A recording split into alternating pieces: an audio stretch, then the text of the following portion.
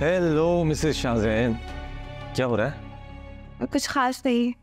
कोई काम है आपको? नहीं। मैं ये सोच रहा था कि आज अनएक्सपेक्टेडली किचन में इतना सन्नाटा क्यों है? क्या मतलब सन्नाटा है? एक्चुअली अम्मी की तबीयत ठीक नहीं है ना तो वो रेस्ट करी ओ तभी। अम्मी की डांट की आवाज़ ना आए ना तो घर खाली खाली लगता है। ये तो है। अच्छा यार जल्दी से कुछ बना दो बहुत भूख लग रही है। शाहजैन खाने में तो अभी टाइम लगेगा। कम से कम आधा घंटा। क्यों? वो अम्मी की तबीयत ठीक नहीं थी तो उन्होंने कहा था कि मैं खाना बना लूँ लेकिन मुझे पता ही नहीं था। बस अभी अभी आई थी तो बर्तन निकाल रही थी। चलो छोड़ो ना बाहर से कुछ ऑर्डर कर लेते हैं।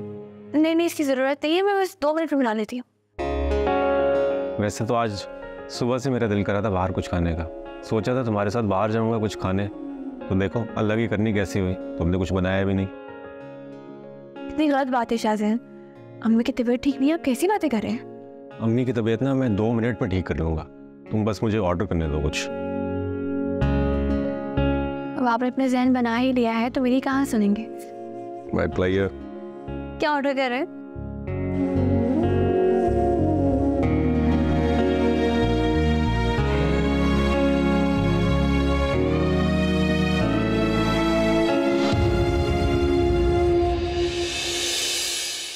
आन रिश्तों की पहचान Do not forget to subscribe An TV's YouTube channel for more entertainment.